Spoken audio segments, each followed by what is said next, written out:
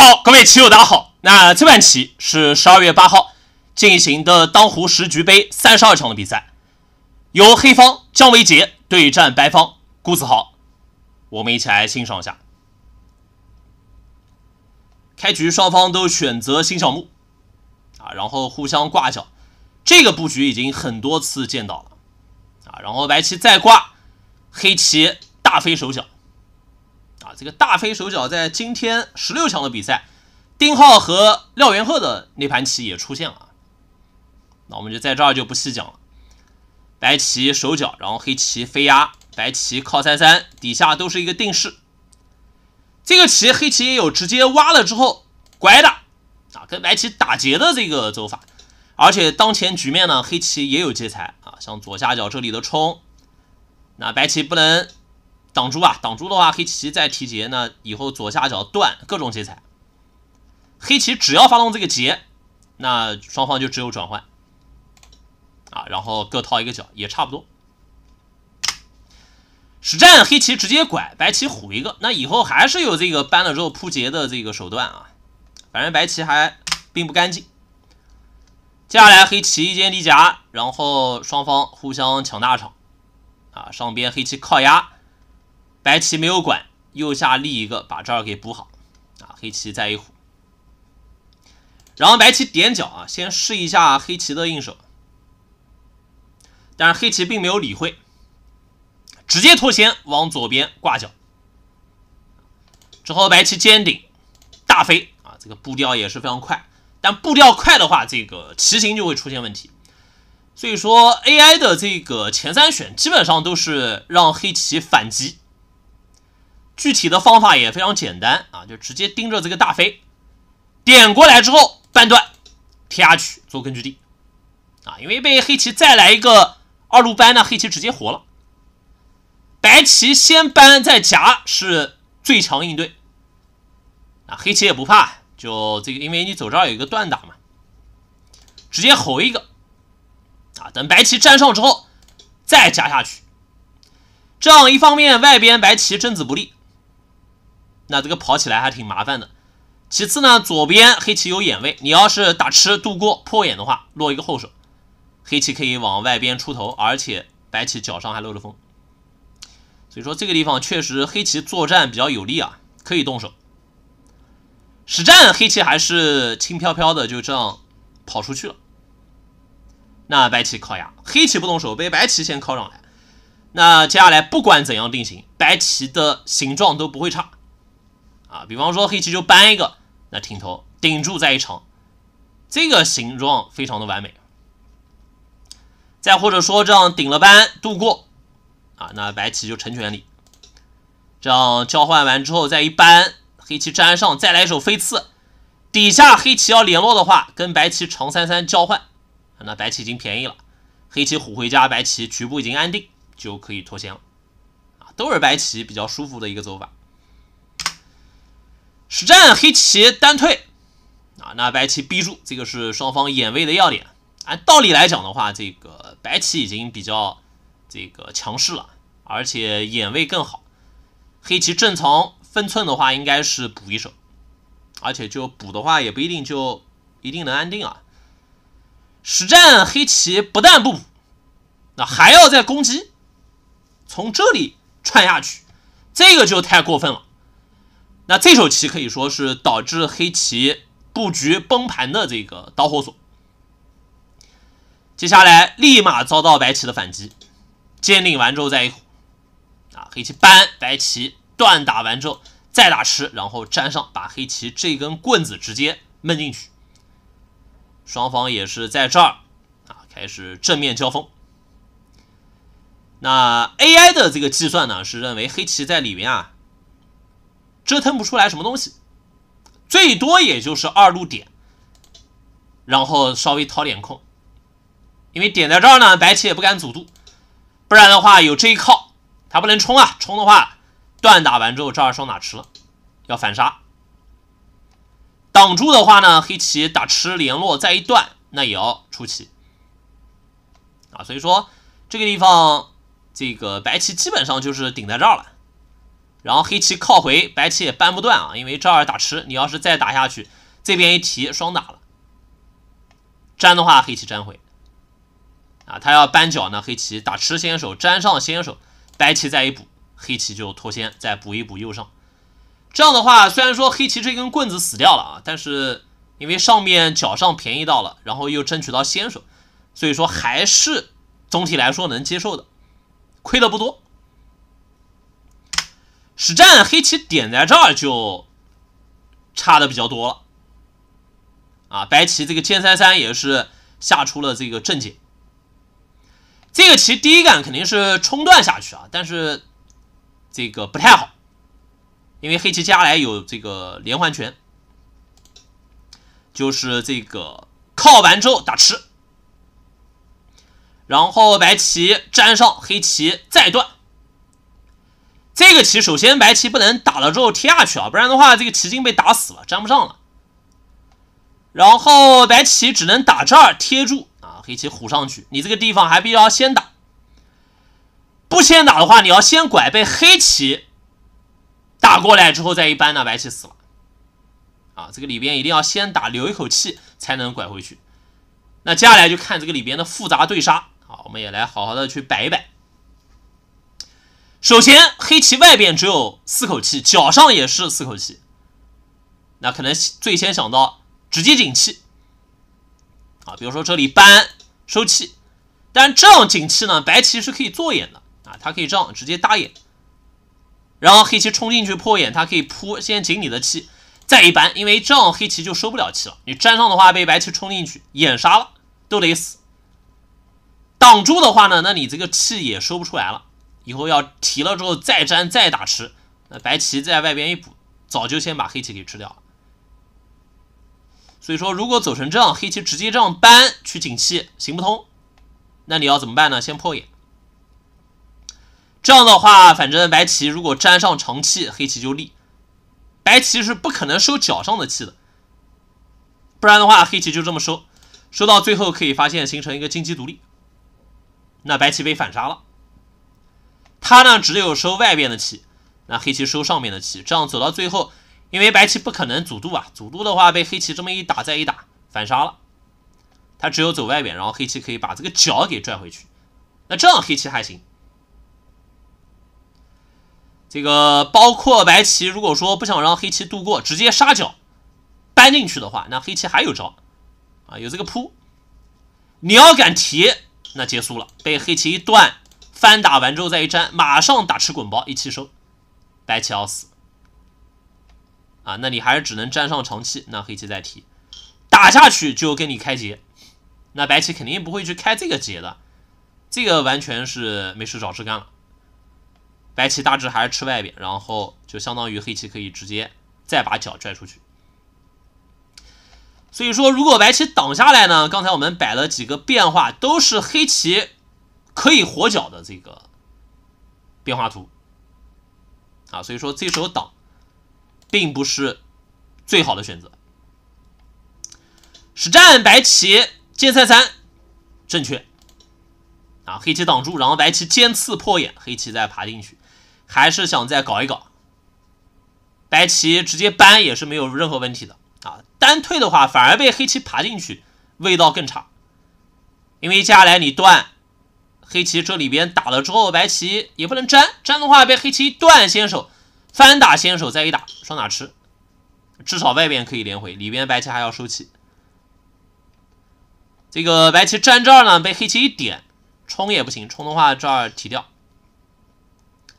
粘这个那黑棋二路透点挡住阻渡再一提，那白棋要再断，这个黑棋就直接立下去，因为角上要做成直四嘛。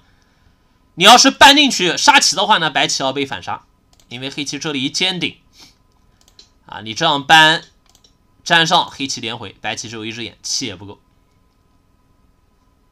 所以说这个地方就扳住就好，啊，黑棋如果说粘，那黑棋活不了，因为白棋上边先做活，黑棋外边这一靠，白棋虎一个冲一个，黑棋粘上，白棋再小尖，补掉外边各种冲断。里边的话，黑棋最多也就这里靠一个之后打吃，然后白棋就粘在这儿，黑棋再打，白棋再粘，里边最多也就是一只后手眼。左边的这个一路力也是后手眼，两只后手眼，那黑棋已经死了。所以说这个时候黑棋终于走到这手点了，但是里边已经啊可以说亏了一大票了。白棋粘上，黑棋度过啊，然后白棋团，黑棋粘，白棋再断，这里完全吃干净。那这个地方黑棋计算失误啊，这个局面基本上黑棋已经快崩盘了，胜率也是降到了谷底。之后黑棋往上打吃，然后白棋右边大飞要掏出来一块。这个棋呢，黑棋倒是有这个靠进去之后，白棋搬黑棋长的手段，这样白棋里边粘不上，粘的话外边断了，粘外边就吃里边啊，但这样吃的太小，而且会伤到外边这颗子。啊，这个黑棋肯定是不愿意的。实战黑棋挡住，白棋贴完之后再贴住，那就看这个里边的死活了。黑棋如果说直接一路搬的话呢，那里边是一个打劫杀啊，就白棋这样打下来，黑棋打了之后再提，然后白棋再打，形成一个劫。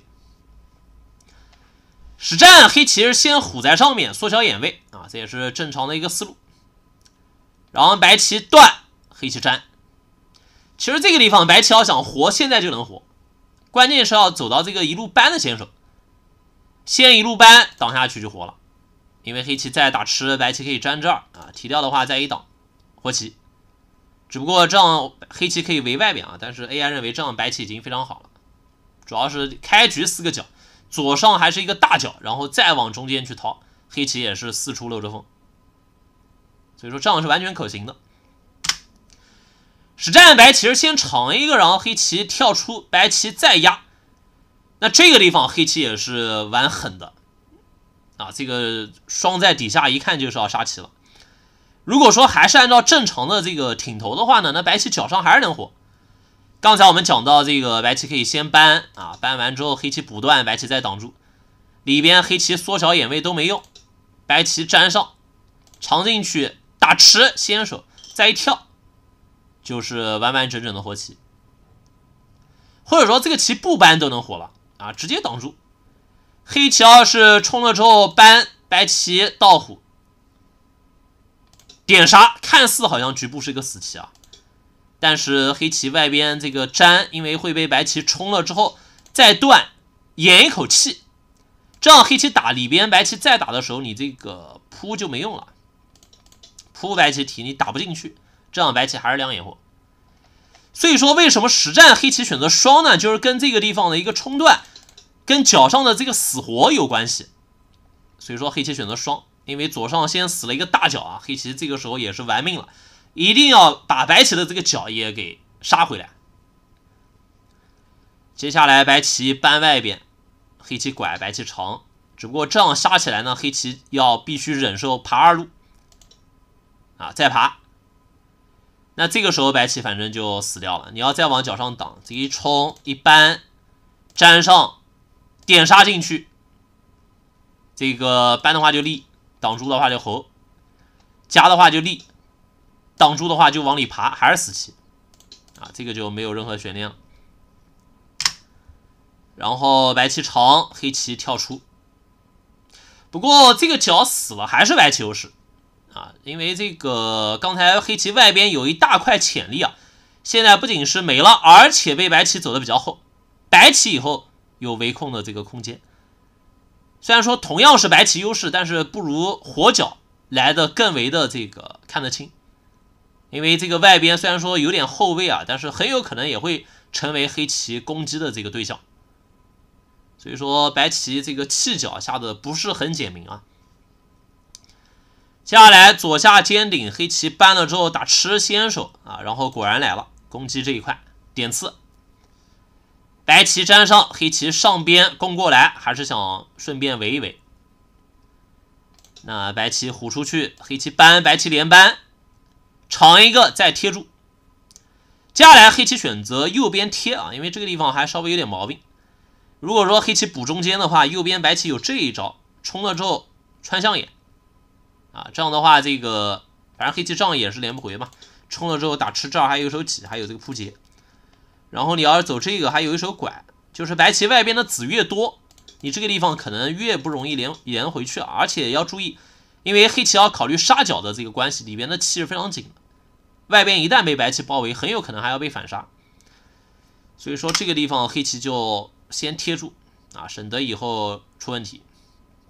而且这个还是先手嘛，白棋要虎一个补断，然后黑棋再搬。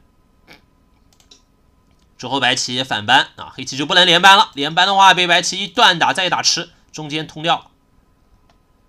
所以说实战粘上，然后白棋挺头啊，黑棋果然开始围上方。白棋呢顺势进来啊，黑棋贴住，白棋长，黑棋跳出，白棋拐回，这样稍微破一点啊。黑棋再飞，白棋再跳，这个还瞄着黑棋中间的这个保卫，右边明显要把黑棋的这个头给闷进去啊。那黑棋如果说不想被封住，顶一个呢？反正上面这个空已经围不大了。白棋还有这个靠断的这一招，这样你打吃它粘上，左边贴吃掉三颗子，右边双打吃。所以说黑棋索性也就不围了啊，直接继续往外出头。白棋继续上方搜刮，靠一个黑棋夹，然后白棋直接闷头。显然对于黑棋大龙还是有些想法。接下来黑棋往底下跳，白棋贴住，要分段！黑棋先在右上搬，交换一手，白棋断，黑棋连回，一直下到这儿呢。这个白棋的胜率都是绝对碾压的，但下一招亏了不少啊！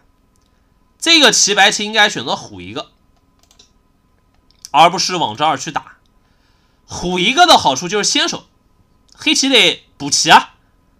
然后白棋右边可以抢到这手顶，这个一顶的话，这个目数也好，而且对于黑棋的右边这个眼位影响也非常大。这样的话，以后像这个二路跳先手，黑棋还得吼一个回家，白棋再往底下逃跑，然后贴着黑棋走。一旦黑棋这个里边做不出来两只眼，那以后这个右上角还存在一个收气吃，啊，这个差别是很大的。实战白棋是先打。被黑棋来一个反打，先手分段，然后被黑棋顶到右边这个地方，再来一个点刺，黑棋的眼位一下子就变好了，这个差别是非常大的啊！白棋上边断打虎一个，黑棋连回，那这个角上以后也就不用收气了，差了好几目棋，所以说这个时候双方的这个差距在变小，而且这个时候白棋还得再防一手这个黑棋打吃之后打劫杀啊，白棋得粘。然后黑棋左下搬寻求联络，白棋底下再飞啊，大龙也连回。之后黑棋上方并一个先手，把左边这里一虎啊彻底补强。白棋上边搬继续搜刮，这个地方黑棋基本上也没有什么反击。如果说你这样打，被白棋连回，你再粘的话，那上边的空已经没了。外边白棋大龙，黑棋也是杀不掉的，因为它中间补个段。你搬他反搬，你还得自己再补断，他再往这儿一掐，也是先手，黑棋得粘，那他直接打吃连回去，没有任何问题。或者说打了之后直接粘都行啊，这个地方应该是已经断不掉了。实战黑棋是搬，然后白棋断打，黑棋还是强行把上方的这个空给撑住，然后白棋往底下跳，这个又是一个小的问题手。这个棋不如一手棋并一个，彻底把大龙连回。实战走这儿呢，被黑棋靠进来，这个问题也比较多了。首先你不能挖，挖的话被黑棋这么一打，再一打再一冲，这个大龙死掉了。以后你要搬下来，黑棋虎一个，脚上要面临被打吃搜刮，下方还有一个二路虎。所以说白棋刚才这手跳效率极其低，根本就没有增加什么目数。相反，如果往这儿并一个，能增加不少，而且味道非常好啊。实战跳，然后黑棋靠进来之后，白棋左边先断，黑棋虎一个，白棋再小尖出去啊！这个地方时刻对大龙抱有想法。黑棋打吃，然后白棋再靠啊！这几手棋都是命中了 AI 的一选。然后黑棋冲，白棋断，黑棋往里撑，但是接下来白棋又冲动了。就这个棋 AI 始终强调这里的这种病，把自己联络好。黑棋中间要想补全联络的话，他不管怎么补，比如说走这儿也是后手，他比如说往这儿补可能效率更高一点，但都是后手啊。白棋可以直接把右下这颗子给它挖进来啊，这个边控全部拿到手。至于黑棋中间再补一刀，白棋也是活的啊，像这里挤一个啊，左边的段可以再补一补啊。像上边大龙黑棋要是点进来杀杀不掉啊，因为白棋这里搬又要吃掉这颗子做眼，中间这一冲又要把黑棋这一块卷进去反杀，所以说这个地方白棋应该赶紧围住边控。实战顾子豪突然起了杀心啊，这个地方还要把这颗子给小尖出来，还要杀黑棋大龙，那这个棋又变得非常复杂了。黑棋因为现在如果这样打打白棋可以跑啊，确实也吃不掉，底下也被反吃。黑棋虎一个，白棋压过来，那底下白棋很薄啊，黑棋肯定要反击了。首先黑棋这个夹呢现在不成立，因为被白棋一扳。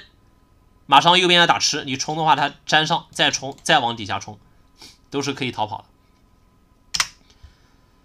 那实战黑棋拐在这儿要夹了，白棋赶紧联络，黑棋再冲，啊，然后白棋底下搬，黑棋再冲。这个时候的话，白棋如果说这个双一个也是不太行的，因为黑棋这一打，你从右边打吃，黑棋底下一虎。再一粘，白棋粘上，虽然说这个黑棋杀不掉白棋，因为它断的话，白棋可以往这儿做眼，但黑棋已经活了，我们要注意，左边这一打，白棋打吃之后跳出，黑棋下方还有一个一路搬粘做眼，这样你要补的话，他一提两眼活，你要粘回这颗子，他底下这一冲，白棋也防不住，挡住的话，这一打三颗子皆不归。这个粘这儿的话呢，黑棋往底下长，你不能提这两颗子啊，提这两颗子被黑棋断吃，脚上紧接着要死。你粘这个黑棋把这两颗子一连，那白棋这朵花也被反杀，脚上也得死。所以说这个棋白棋还不能双下来啊，只有这样打吃回去，然后黑棋再一打，那这两颗子已经完全不能要了，在长的话被黑棋打烂掉了，或者说从这儿一打一冲啊，这样不行。这样是这个气被紧住了，哦，这个好像也行，这样也呃，这样不行，这样一打从这儿直接就倒扑了，啊，直接从这儿打就行，从这儿打白棋已经烂掉了，也回不去了啊，所以说实战白棋只能粘，不过下一招黑棋又出现问题了，这个棋往底下跳是不太好。还是应该断打在这个左边，把这两颗子给吃掉。这样白棋如果说长下来，黑棋还有招啊，就是打完之后挡住，白棋拐回去。虽然说这儿连回了，但是黑棋接下来可以从左边冲出来，要吃白棋外边这三颗棋筋。然后白棋这样猴出去，因为他跳的话直接被这个冲断嘛，靠的话也不行啊，靠的话气紧，冲这个被黑棋一打，有这一招从上面打。这样白棋提这个，黑棋可以从后边再打，白棋接不归。那他提三颗子，白黑棋就提这五颗子。这样转换的话，黑棋满意，已经逆转了。实战黑棋补底下想完整的吃住这两颗子啊，结果被白棋左边一粘，再一粘，这个目数黑棋是亏的啊。